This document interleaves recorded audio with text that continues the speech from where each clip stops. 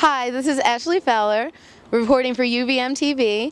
The date is February 1st, 2006, and I'm standing here in Montpelier, Vermont at the 9th annual UVM Day in the State House. This is a day where President Fogel, UVM administrators, and students come together, speak to legislators, and talk about issues pertinent to the campus. We have a speech coming up from D Governor Douglas, a tour of the State House, and many more events. It looks to be an exciting day, so come join us. The purpose of the day's events was twofold. It served as an opportunity for students to meet the people driving Vermont legislation and as a chance to provide feedback about the university's needs from the state government.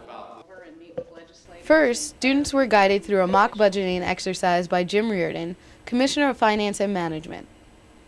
Here, they were allowed to democratically allocate the mock state funds as they saw fit. Uh, it's all accountants, you know. At least it was when I went. Um, so what would you put in? I'd put in about twenty percent because I think that, um, this sector of the budget is one of the only sectors that if you promote highly will return, like, it'll be a return investment and that you'll have more tax dollars coming back. More tax dollars, very good thought. Uh, This gave participants insight as to how difficult it can be to reach a consensus on matters of state finances. This this exercise, uh, slicing the pie, is it's kind of amusing and really uh, educational at the same time, where we've got people proposing thirty percent for pretty much everything. Um, but definitely, I think what I'm going to come away from this day with is um, how ex- accessible Vermont is, um, and how you can really talk to individuals even at the highest levels of government. To the House Later, legislators from the entire state, including Lieutenant Governor Brian Dubie, sat down over lunch with the students and answered questions regarding the government and its relationship with UVM. in the College of Education, there were cutbacks with um, professors. But I find it kind of ironic just because we're looking for this expansion and increase in higher education when they're cutting back teachers who are teaching others in order to teach in the future.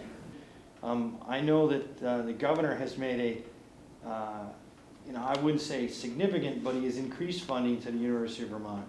How that translates down to the world that you live in, I guess I'd have to say, you're gonna have to educate me, and I, I would be interested, um, and gl- glad to have that conversation. Well, thank you, Karen, very much. Uh, Welcome to Montpelier. The highlight of the day, however, came when Governor Jim Douglas announced his new initiative, the Vermont Promise Scholarship. And uh, you're all at UVM, and I'm pleased that you are, but I've talked to some uh, folks in Vermont, some families uh, who say, well, gee, I- you know, our son or daughter uh, was able to uh, go to UMass or UNH and pay less as an out-of-stater there than as a Vermonter at UVM. Well, that isn't going to work uh, if we're, if we're going to try to make it more affordable to everybody to, uh, to stay here.